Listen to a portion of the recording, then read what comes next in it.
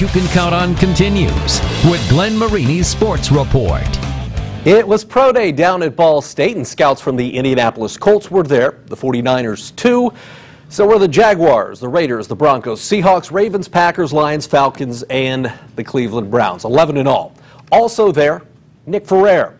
After leading St. Francis to back-to-back national championships, the NAIA Player of the Year is looking to go from a small school quarterback to the game's biggest stage.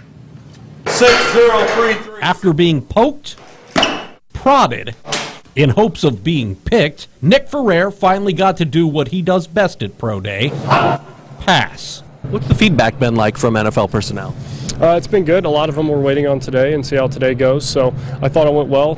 Was able to showcase some stuff. Definitely was able to showcase arm strength and um, you know body control and all those stuff in the testing. Um, so overall, I thought it went really well. You know, there are a lot of teams that uh, you know know about you and um, you know think they can you know try to get a player for cheap and, and try to get an under the radar guy, um, which is a potential draft pick. So that's kind of the feedback I've been getting so far. Do you have kind of a chip on your shoulder as a guy who's coming from a small school? Absolutely. I mean, you you have to have a chip on your shoulder, especially you know as a small school guy. You know, I've kind of had that my whole life, and you know, everybody who's took a chance on me, you know, hasn't been disappointed. Um, so that's kind of uh, what I have to offer. One advantage Nick had today was that of working with a familiar face. Former St. Francis receiver Seth Coate, who graduated in 2017, also worked out at Pro Day.